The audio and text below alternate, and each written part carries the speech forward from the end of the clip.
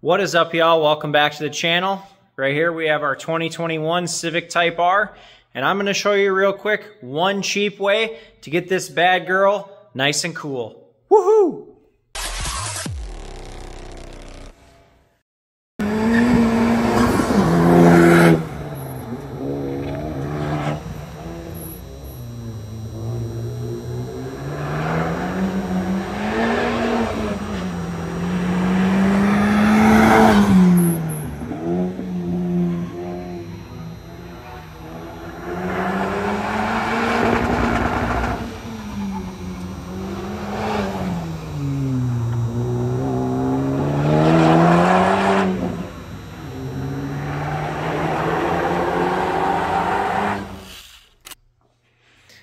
All right, so I'm just uh, prepping this thing to head to the track tonight.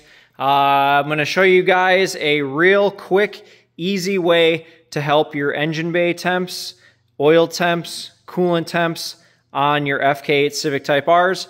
If you're like me, if you, and you take the thing to the track, you damn well know that these things freaking overheat all the time.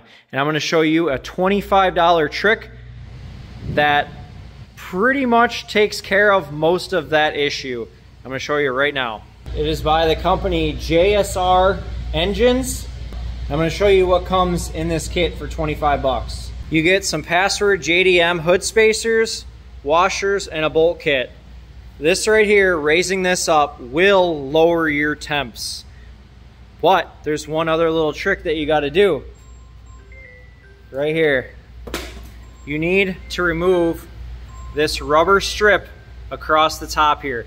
That'll give you maximum flow through your engine bay and that will get you down to where you need to be where you can run lap after lap and not have to worry about overheating this thing. I'm to close the hood and kind of show you what it looks like.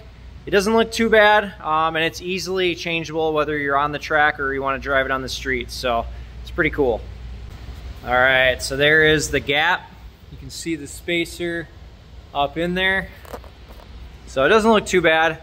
I mean, if literally you're taking this thing to the track, you don't give a shit about that body line, because let me tell you, there is a ton of room up under there. And that's where that seal goes is right there. So once you take that off, put that spacer in, there is so much room for flow. That way uh, I can, you know, enter right into your grill through the radiator, intercooler, and up out over the windshield. So that is a cheap fix and I can guarantee you, you will get more laps on track before your car starts to overheat. Might not even at all, depends on the track. That's gonna do it on this one, guys. If you guys please could, like, subscribe, hit the bell for notifications, and we'll see you on the next one. Woohoo!